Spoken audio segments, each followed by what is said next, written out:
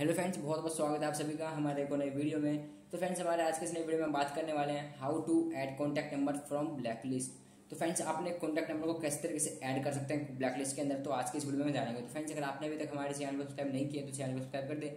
Video को like करना ना बोले फ्रेंड्स कॉन्टैक्ट नंबर के अंदर ब्लैक लिस्ट को फ्रेंड ब्लैक लिस्ट के अंदर कॉन्टैक्ट नंबर को कैसे ऐड कर सकते हैं? फ्रेंड्स क्या करना हो?